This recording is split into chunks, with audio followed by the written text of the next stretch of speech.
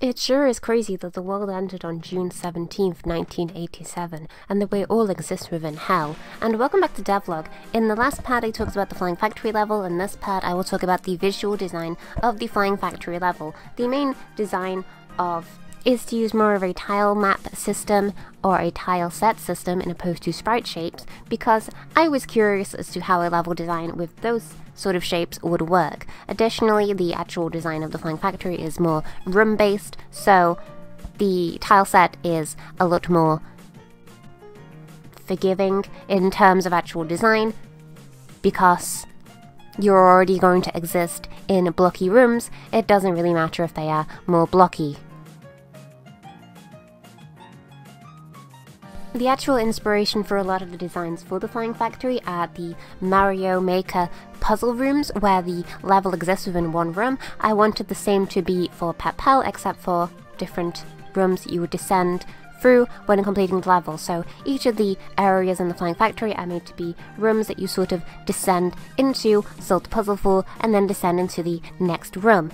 Because of this, the entire room has to exist within one visual in the level, so for this, I just modify the player camera so it does not move on the x-axis when in the flying factory, so it is only vertically going up or down.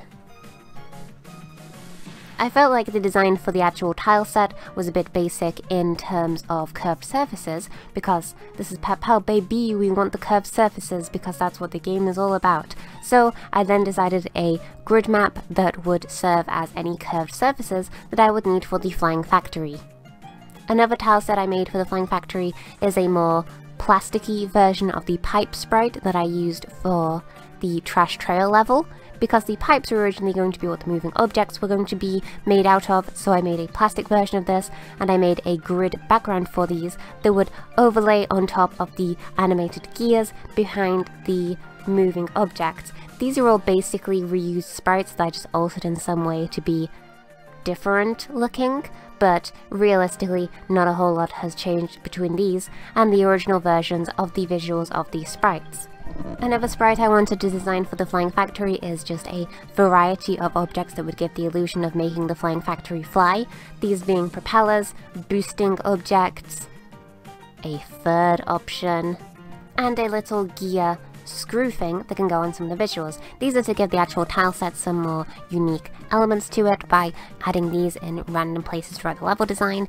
They actually have a functionality, the propellers and fire from the boosters will damage the player, but there are very few sections of the Flying Factory where these are used for hazards, in opposed to just a visual distinction in that section of the Flying Factory.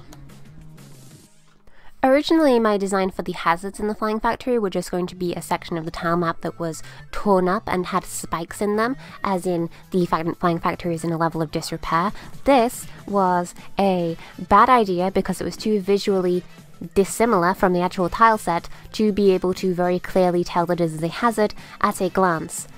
Obviously the evil spiked surfaces would be a hazard, but generally I prefer to distinguish hazards in the levels in a way where they will be a different colour in some way from the rest of the scenery in a level, or have some level of very obvious standout feature that makes it look like a hazard.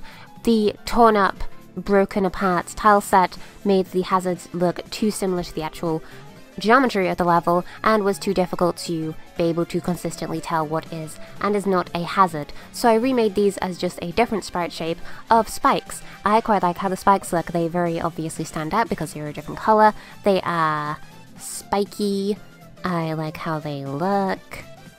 Spikes also are a lot more obviously a hazard in opposed to the cut apart version of the tile set which could be read differently in a way that is not a hazard. The only problem with the tile set of the spikes is that they do not actually fit together with the tile set of the Flying Factory, but this is very very easy. The tile set of the Flying Factory is very basic enough so the spikes could just be placed on the edge of a Flying Factory section of the tile set and they would blend in just fine because the base of the spikes are the same color as the Flying Factory spikes so they could give the impression of maybe having a clip-on feature to the Flying Factory tile set so they don't look out of place when I place a bunch of spikes flying in the air for some sections.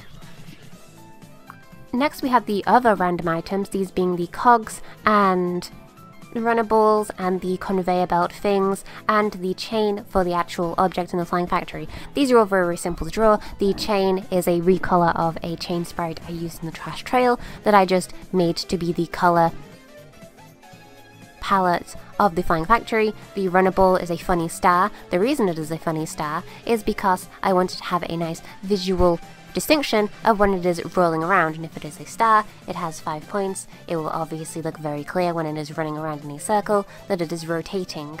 The objects that the runnables pull, being the pulley systems, are just two sprites one on top of the other that I just repeat over and over for whatever length this object needs to be, and the cogs are gigantic cogs. These were easy to draw. I just drew cogs, I drew around them to give the impression of lighting on the cogs. I added random details where the cog would look more detailed.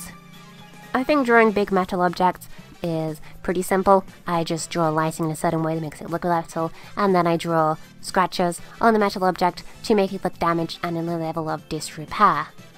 Pretty pretty simple visual that I can add to the level, and also these are very large sprites, so I'm a big fan of how they actually turned out visually. I like how the cogs look. These were, again, a visual idea I wanted to implement in the beginning of Pal's development and then reused in the Trash Trail, and then I could not use the sprites I had made months and months ago for this section of the level because I wanted something more unique and something highly more specific, so I just remade the visual for the cogs.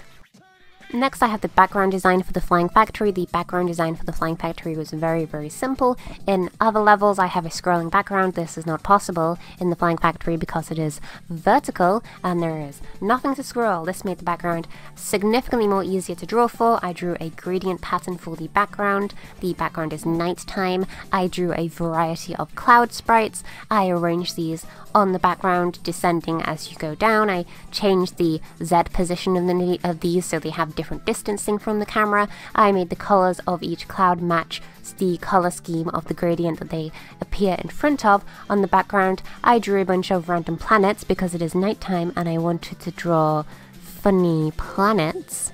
I arranged these at a further distance away from the camera so that there is planets in space to give foreshadowing to the horrifying meteor that destroys the game at the last level that Pep-Pel causes the apocalypse with. Because space is the last level of Pep Pellington. Pet goes to space. Finally, we have the new character skin that the player unlocks upon beating this level.